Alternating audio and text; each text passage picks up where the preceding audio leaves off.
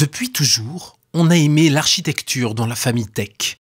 Et 144 n'est pas le dernier à se passionner pour la mise en place des belles choses.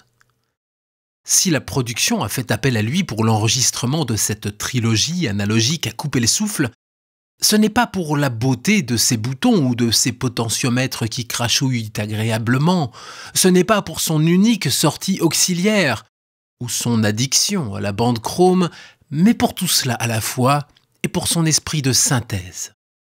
L'honneur de la famille Tech est sauf, une fois encore, et ma chose n'a rien à envier aux deux premiers volets de la trilogie de Parlez-moi d'amour. 144 assure grave, dans les aigus aussi.